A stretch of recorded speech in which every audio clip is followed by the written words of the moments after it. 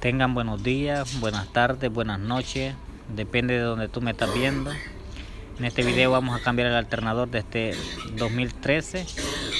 Mira, vamos a quitar el, la batería primero, te voy a enseñar los pasos, vamos a aflojar ese tornillo, perdón, ese, e, e, ese, ese tornillo que está ahí que mide 12, ese otro que está ahí, el que está abajo,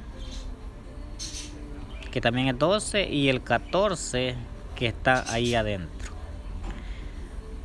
Bueno comenzamos. Quitando el cable negativo con un soque medida 10 lo hacemos a un lado.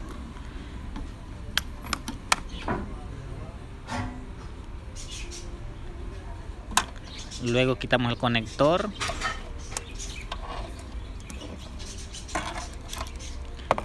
luego quitamos ahí abrimos ahí está un, tornito que es 12 lo quitamos. Luego aflojamos el que está abajo que estás viendo ahí que es 12 aflojamos el 14 solo lo aflojamos. Ahora aflojamos ese que ese es el tensor ese es el que tensa la faja. Lo aflojas hasta que salga la faja lo aflojas y si no afloja ahí lo puchas para adentro para que afloje la faja. Este es un 2013 Hyundai Elantra con motor 2.0 ahora quitamos el tornillo de abajo. Una vez quitándolo quitamos el 14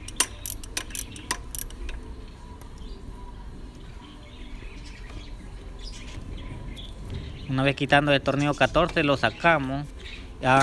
El libro paga una hora por cambiarlo para que tengas la idea cuánto puedes cobrar y ahí está afuera. Bueno no te olvides de suscribirte y nos vemos hasta la próxima. Dale like y compártelo